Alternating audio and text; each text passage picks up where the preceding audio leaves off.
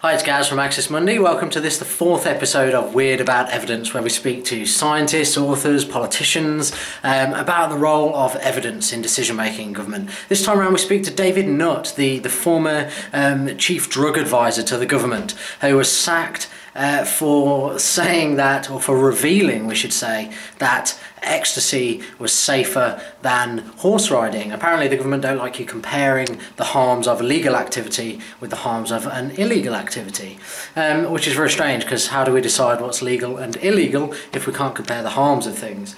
Um, in the meantime, I just want to let everybody know that we're currently writing a new album, which will be due for release in kind of early summer 2013. Uh, plenty more party music, more dubstep, more rave, more rock, uh, and lots and lots more science on this album. So um, we'll be writing over the winter and doing plenty more in the meantime. So uh, keep tuned in. Uh, here's our conversation with David Nutt.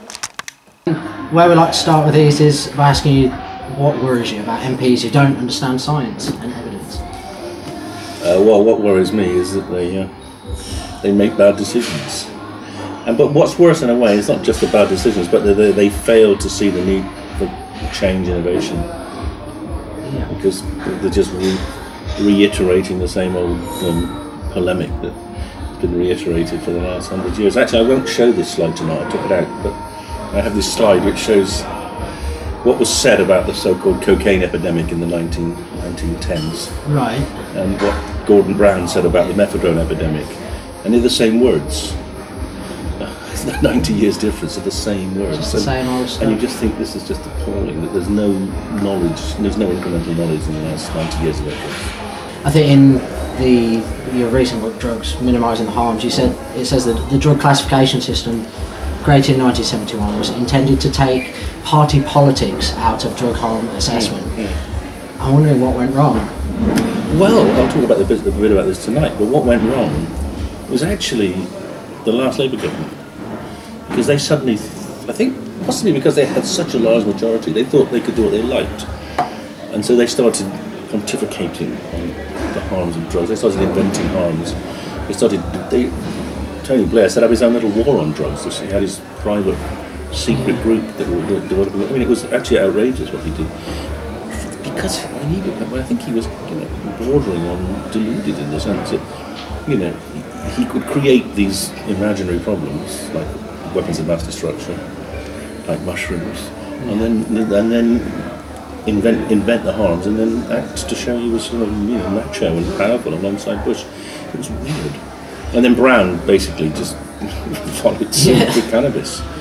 So that was the problem. The problem up to that point, mostly with the, excep- with, the, with, with the exception of MDMA, ecstasy, mostly, mostly the governments listened to what the, the experts, and it was even Margaret Thatcher, you know, she listened, she allowed needle exchange against her, against her own political philosophy, she allowed needle exchange because the experts said so.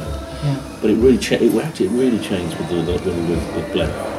One of the problems I think seems to stand out today is, and I think I, you've even commented on this yourself, is this problem we have of politicians parading um, a moral stance as Yeah. though it's a scientific stance. I mean, is that something? Yeah, so what the way it goes is this: is it politicians make a decision, a political decision. I want cannabis class B because that's going to get me re-elected, and then they go around hunting. So that's a moral decision. Then they go around hunting for evidence to justify why they did it. You know, and they, and they really, you know, they scratch around until they find some rubbish. I mean, that the best example was actually cannabis, where when I was sacked, Alan Johnson, Home Secretary at the time, said in the House, you know, we sacked him because he was continually criticising government policy, which of course that was my job. To make Yeah. the policy is wrong. Anyway, and he said, you know, and I, the ACMD, they- they said that cannabis didn't cause schizophrenia. Yet the other week I met a prison governor who told me it categorically did. And you think, hang on a second, you know, there's there's 30 people in the ACMD, three reports, two and a half thousand papers, and that counts less than what a prison governor thinks. I've watched you on um, Sky News. I was just watching YouTube videos earlier, and there was this Oh, was the day you'd been sacked. Actually, there was a Sky News report, and this, the woman who was interviewing Ah, the horse riding. Yeah, yeah. You had said that obviously ecstasy was less dangerous than horse riding. Hmm. Uh, I think the woman on the news had, say, had said, "Oh well, you the problem is you're comparing horse riding with ecstasy," and so you see right there, your argument falls down, doesn't it? And I think after you pulled your eyebrows round from the back of your head, you, Yes, you kind of it. said. There, there are 28 scientists. Hmm. You know, you don't think we've thought of the idea that it could be proportions and that, and she really thought she had one over.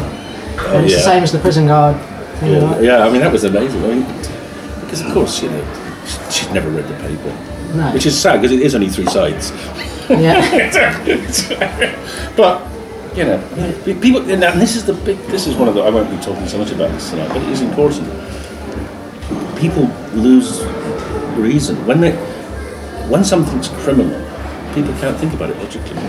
You know, actually, like a like a person with a criminal record is is, is seen as a kind of different Yeah. kind of subhuman. You know, and so that's why you've got to be very careful about criminalising anything because it, it distorts thinking fundamentally. Let me, I mean, let me give you an example. Well, I've talked about this about tonight. So, when a drug is made illegal, it's almost impossible to research on it. Yeah. So before LSD was made illegal, there were uh, a thousand reports, Yeah. thousand studies. Yeah. 40,000 patients. Since it was made illegal, there's been one. Now, and that, and that's not because people don't want to study it. It's because you can't, you know, even though you are allowed to study it, in practice, you can't get money because the funders say, "Oh, it's illegal, that's therefore we should. We're not going to dirty our hands with illegal drugs." Yeah. Um, universities say, "We don't want to study." We don't want to. You know, I mean, everyone you know, sort of retracts away from it. So, so illegality is is one of those distorting things. Yeah. Why is it that do you why do you think that I think politicians and the media kind of view drug addiction as a moral criminal problem rather than a kind of medical, scientific and um, social problem? Um, that could be It's yeah, because that's easy. because it's easy. Because once you yeah, I mean it's um, it, it it's weird. Every, but it, it, I mean the opening sentence of the, this current government's consultation on drugs. The statement from the Home Secretary says, I believe taking drug taking is effective. She says, I believe drug taking is immoral and we should stop it. And so that's that's a fact. You know, that's her view. She, and therefore, every, all policies have. But why they think that? It's actually fascinating. I don't actually know. I don't think they think. I think this is this is kind of traditional. As I said, the rhetoric hasn't changed in hundred years. They, you know, they come into a system as politicians and they just buy into the rhetoric.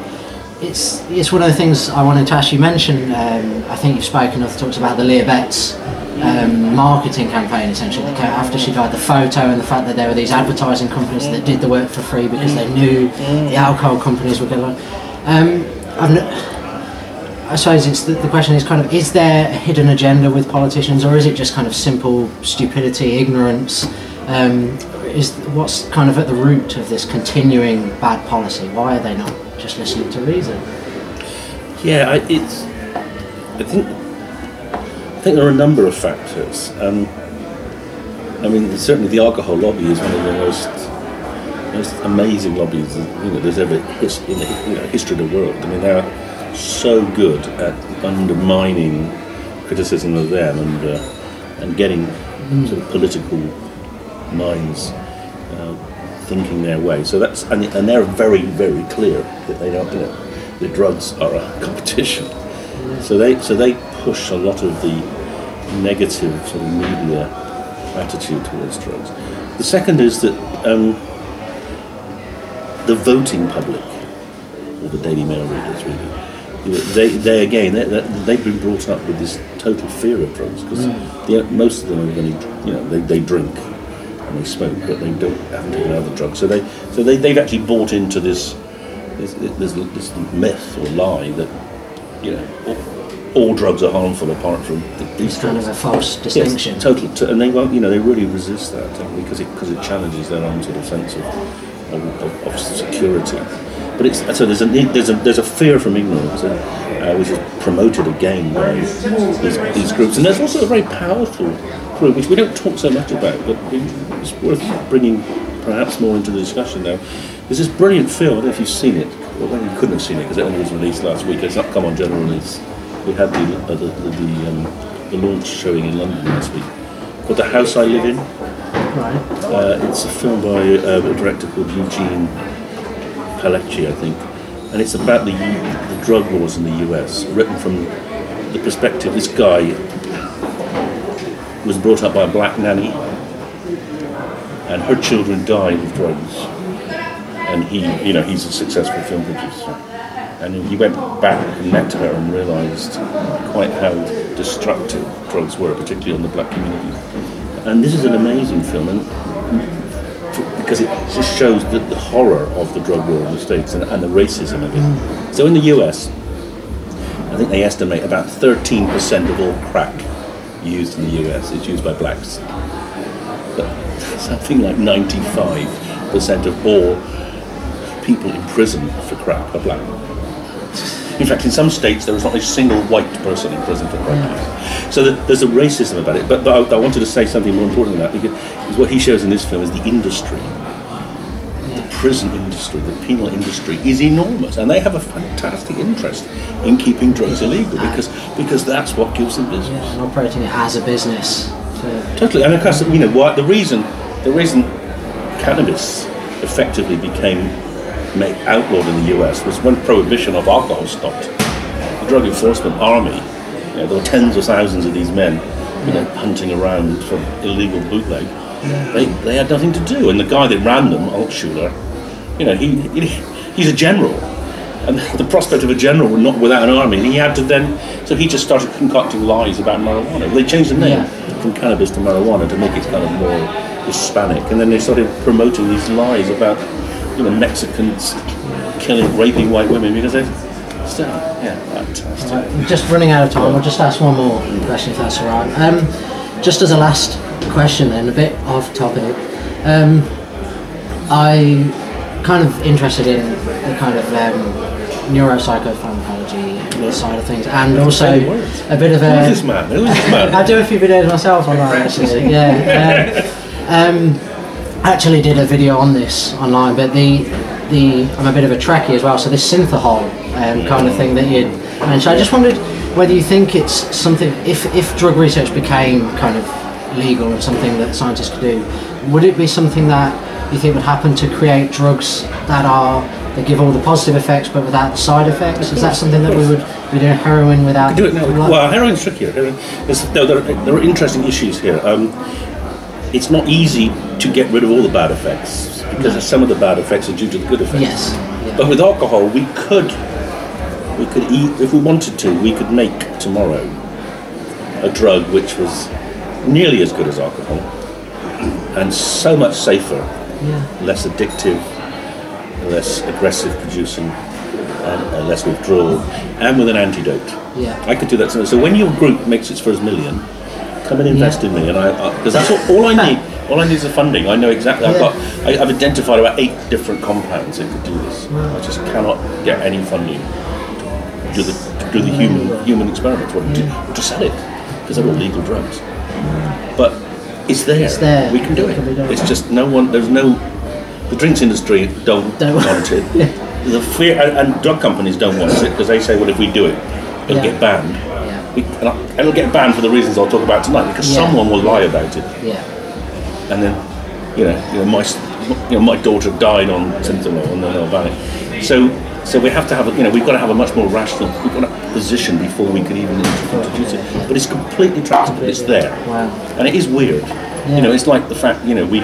We could still sit over an open wood fire when we could have, you know, radiators, but Yeah. that's the, we don't move on. All right. Well, thank you for your time. We'll stop there. Welcome.